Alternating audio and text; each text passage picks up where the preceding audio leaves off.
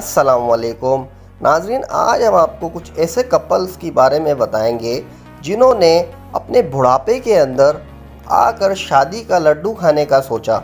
इनमें से कुछ ने दूसरी बार और कुछ ने पहली बार ज़िंदगी के सफ़र में नए सिरे से चलने का सोचा। Number one. नंबर वन पे हैं पंजाबी फ़िल्मों की अदाकारा अंजुमन। पंजाबी फ़िल्मों की जान अंजुमन ने अपने शोर के इंतकाल के बाद अपने तीनों बच्चों के साथ ही ज़िंदगी गुजारने का फैसला किया। लेकिन उम्र के इस हिस्से में उन्होंने इस शख्स की मोहब्बत मजबूर कर दिया, जो काफ़ी सालों से उनकी शादी के खवा था। पंजाब के बिज़नेस में लकी अली से शादी अंजुमन ने अपने तीनों बच्चों की रजामंदी के बाद की। उन्होंने हक हकमेर में दो करोड़ रुपए, बीस प्लाट, होंडा कार, दो किनाल का घर लिया। और करीबी दोस्तों और ख़ानदान वालों के हमरा शादी कर ली। उन्होंने अपनी शादी की तस्वीर खुद मीडिया के लोगों के बाद में फराम की। उन्होंने कहा कि वो बहुत खुश हैं और जल्द फ़िल्म प्रोड्यूस भी करेंगी। शादी के वक्त उनकी उम्र चौंतीस बरस थी। Number two. नंबर दो पे है ताज हैदर। नाजरीन, ताज हैदर का ताल्लुक पीपल्स पार्टी से है।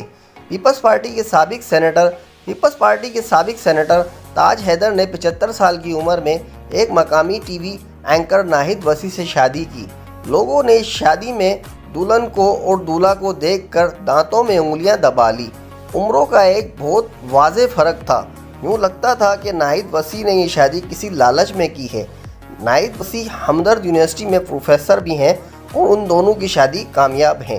नंबर थ्री, तीन पे है शुएब अख्तर पाकिस्तान क्रिकेट के सितारे की शादी की उम्मीदें लोगों ने तोड़ दी थी, क्योंकि एक तो रावलपिंडी एक्सप्रेस को गुस्सा बहुत आता था और फिर इनकी तरफ़ से ऐसा कोई इरादा ज़ाहिर नहीं होता था। एक ज़माने में फ़िल्म स्टार मीरा ने इस ख्वाहिश का इजहार किया कि वो शेब अख्तर की ज़िंदगी में शामिल होने के लिए तैयार हैं, क्योंकि इनकी और नवीद की शादी तुड़वाने के ज़िम्मेदार शेब अख्तर हैं।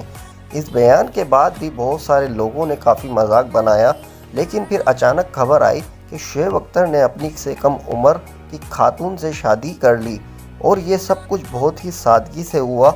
अब तो वो वालिद भी बन चुके हैं।